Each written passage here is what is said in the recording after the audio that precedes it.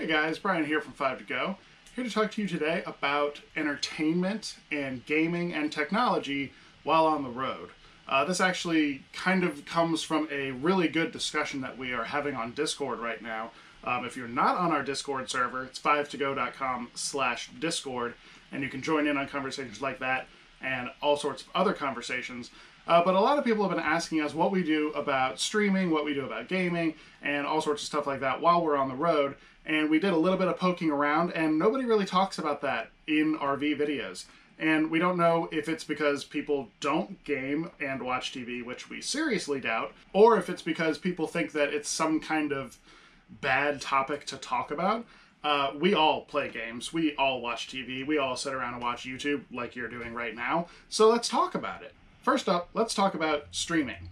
Uh, first of all, we cut the cord back in 2006, I think. We got married in 2006 and got our first house.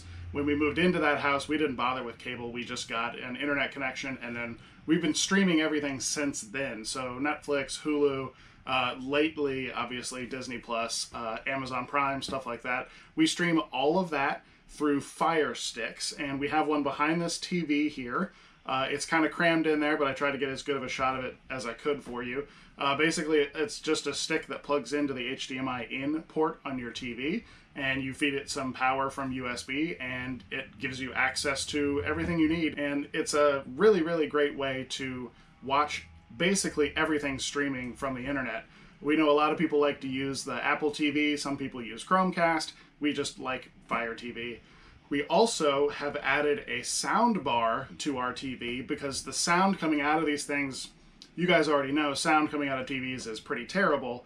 Sound coming out of a TV in an RV is even worse. So that sound bar at least throws that sound across the room towards you when you're sitting on the couch over here like Vector is. And then on the TV in the back room, uh, more often than not, Erin and I are out here watching something on our lovely new couch and the kids will be in our room on the smaller TV. They'll probably be watching either stuff we pull through over the air because there's an antenna up there, or uh, if we're in a campground like this one that has a cable connection, we'll hook up the cable. They can watch like Disney Channel, Nickelodeon, or whatever. Uh, but when we aren't using either of those things, there's also a Fire Stick on that TV, as well as a USB hard drive that I've loaded up with movies that they love, and they can just fire up that TV, watch whatever they want while they're in there. And uh, the other alternative is their um, their play pads, which we'll get to in a minute here. So you might be asking, how are you getting internet? Um, well, we have a grandfathered in unlimited AT&T hotspot plan. So unfortunately, that's not something you can go out and buy on your own. And we're going to do a completely separate video all about getting internet while on the road. But again, if you jump into our Discord, we have a gear and technology channel that everybody in there, uh, I would say half of the conversation is probably about how to get internet while on the road. So if you don't want to wait for another video or go searching for anything else, just hop on Discord, check that out. There's a lot of great resources in there. We've pinned some good links in there. So hop in there if you want to learn more about that. That being said, with the plan that we have, we have no trouble streaming Netflix on here and the kids watching stuff on YouTube in the back. We can do it all just fine through our hotspot, through our AT&T cellular plan. Obviously, we have to have a strong signal in order to do that. Uh, at this campground, we have a very strong signal because we're basically surrounded by neighborhoods and there's a major road right up front. Uh, we have been in some areas where the cell signal is not great, and that's why we have the hard drive with movies on it. That's why we have play pads. That's why we download games and movies ahead of time. Uh, so if you get into areas like that where you're not going to have a cell signal, you're probably going to need to have a backup plan like that. Some campgrounds do offer Wi Fi. More often than not, you're going to have to pay a couple bucks a day to access them. Um, I'm going to be completely honest with you. We have been in about 160, 170 campgrounds now, and I think there have been maybe three or four that had really good Wi Fi, and maybe double that that had serviceable Wi-Fi. It's going to vary a lot depending on the campground, the location, what site you are in the campground. We've been in some campgrounds where we are parked right next to the little Wi-Fi repeater and it is a fantastic signal. We've been in other campgrounds where you can't even figure out where the antennas are and you're not getting anything. So you really cannot rely on campground Wi Fi. So you're going to want to figure out some kind of cellular service or just be disconnected. All right, so let's talk about gaming. All five of us in this family are pretty heavy gamers. I've been playing games my entire life. As far as I know, Erin's been playing games for most of hers. Uh, so that was an important thing for us. So three years ago, when we got rid of all of our stuff, sold our house, bought an RV, and started traveling around in it, gaming is not something that I wanted to leave behind.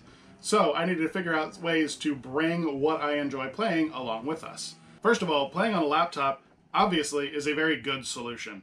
Um, I have been building PCs my entire life, so going from uh, building gaming PCs to kind of being restricted to buying a gaming laptop uh, was a weird concept to me. Three years ago, gaming laptops were just starting to get really good. Uh, this one right here is fantastic. It actually has an RTX card in it, so I can play Control with RTX on, and it looks amazing. So there are really, really, really good laptop solutions out there if you want to play games on a PC. And other than this one, I have my old laptop that still is way more than capable of running games like World of Warcraft and anything else. Um, Erin and Tara and I play World of Warcraft together. With that cell package that I was talking to you about, we have absolutely no trouble playing online together. We can even all three have the game running at one time and have Netflix streaming. So uh, games really don't take up a lot of bandwidth, so that's not something you really, really have to worry about. If you're heavy into like super competitive, like Twitch gaming, you're gonna be more worried about latency versus bandwidth. Now, aside from gaming on PCs, mobile gaming is also something that we do a lot of. Uh, you've heard me mention uh, our kids have playpads. These are actually the Amazon Kindle Fire Kids Edition tablets. Uh, they come in this nice bumpy case. Uh, it's it's very soft and very. Uh, they drop these all the time. They fall out of the car all the time, skid across parking lots. They're just fine. And the nice thing about these is if uh, I think they come with a two-year warranty, where if the screen breaks or they get wet or they just stop working or if anything goes wrong with them, you just tell Amazon something's wrong with it, something broke, whatever, and they send you a brand new one for absolutely free within that two-year window. And uh, you might be saying, that's too good to be true. It is true. We've done it uh, five or six times between Brooke and Ben over the last few years. So this is a fantastic, fantastic deal. Uh, they do cost a little bit more than just a base Kindle, but they cost less than two. So free replacements are a good thing. Tara has a Switch. Well, actually, it's my Switch. But Tara's been using my Switch. She plays Mario, she plays Zelda, she plays all the lovely Switch games. Uh, that is obviously a really, really, really good solution for traveling and gaming. Uh, we've actually been in campgrounds where they've set it up on the picnic table and played Mario Kart with three or four kids. Great, great system, but you already knew that. The big one is if you want to bring something like an Xbox or a PlayStation.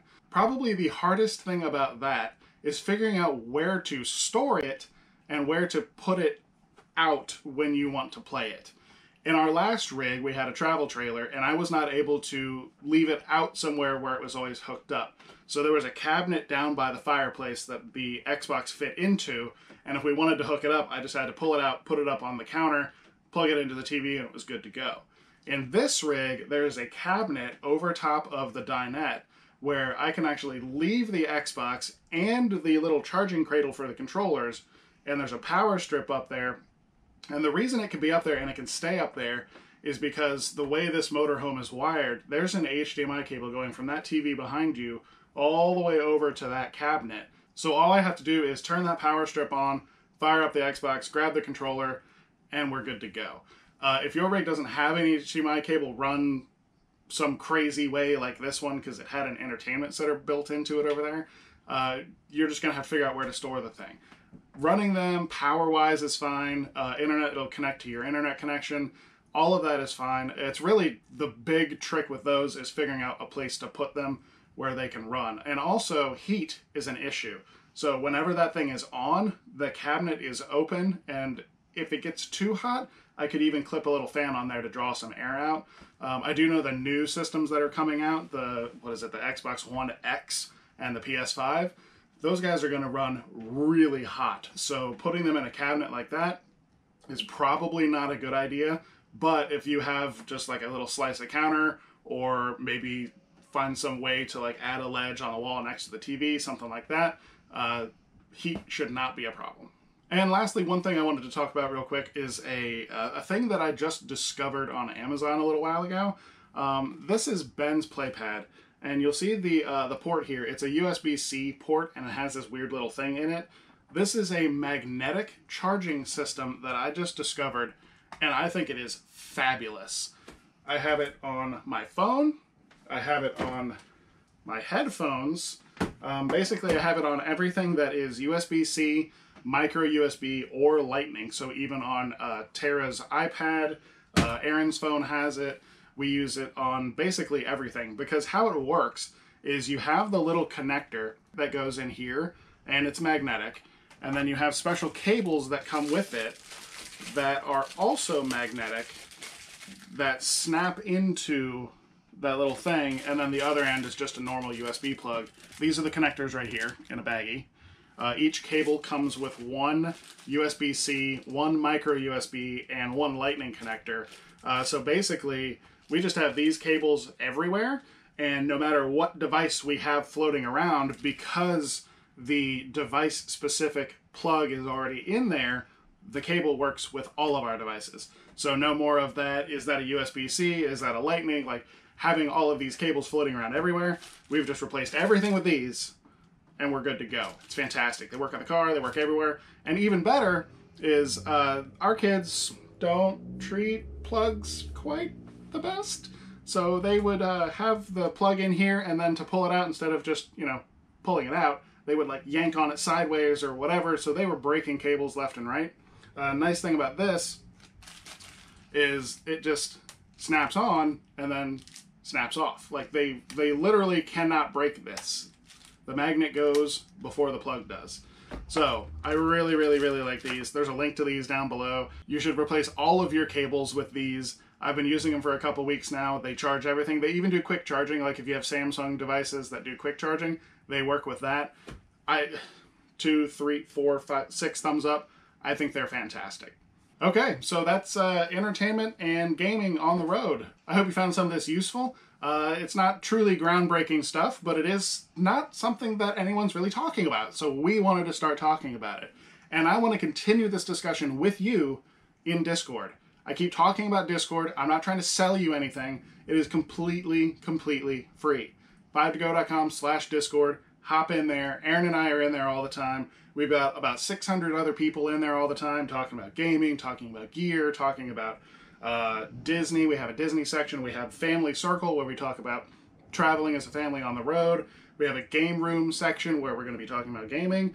And we have a special channel just for our Roadrunners, which is what we call our patrons that support us on Patreon. So if you want to support us there, no pressure. You certainly don't have to. Uh, but if you do, there is a special room just for you guys. And uh, otherwise, uh, that's about it for this video. Coming up next, I think there's going to be a tour. What do you think? All right, guys, thanks for watching. Have a great day. Keep your masks on. Stay safe.